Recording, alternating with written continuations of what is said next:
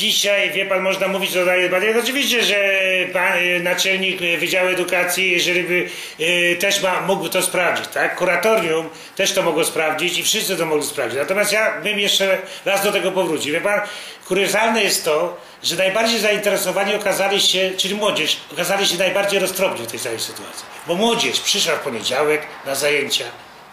Klasa przypomnijmy, dotyczy to jednej klasy 21-osobowej, tak. która w latach, zasadnicza szkoła zawodowa w latach wcześniejszych, to pan potwierdzi, kończyła w połowie czerwca.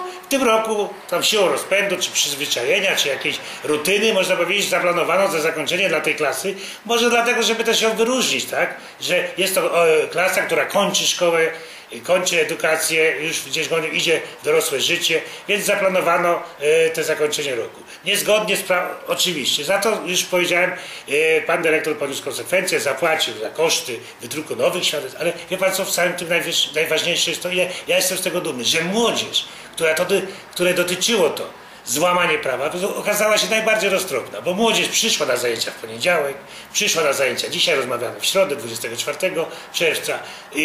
Prawie e, frekwencja była tak jak normalnie, e, prawie 90%, czy ponad 90%, bo w, poniedziałek z tego, z moich informacji na 21 było obecnych 20, dzisiaj było bodajże 16 czy 18, tak jak normalnie na lekcje chodzą, tak? I młodzież oddała te świadectwa i młodzież przyjdzie po te świadectwa w piątek, wie pan? A my dzisiaj robimy aferę na, na całą Polskę, bo już TVN dzwonił dzisiaj do mnie rano, y, Radio RMF i, i co się takiego stało, tak?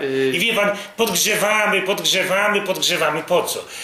Stało się, nawet nie nieszczęście, pomyłka zwykła, która została naprawiona. I ja jestem dumny z tej młodzieży, że ona nie cieszyła się, nie, nie protestowała, tylko przyszła i ze swoim dyrektorem była do końca, który może nie, nie, nie, w żadnym, tylko po prostu przez nieuwagę nie dopełnił tych obowiązków. Znaczy, to I, te, I tym się, tego się, cieszmy się z tego efektu edukacyjnego, który zaistniał w tej szkole.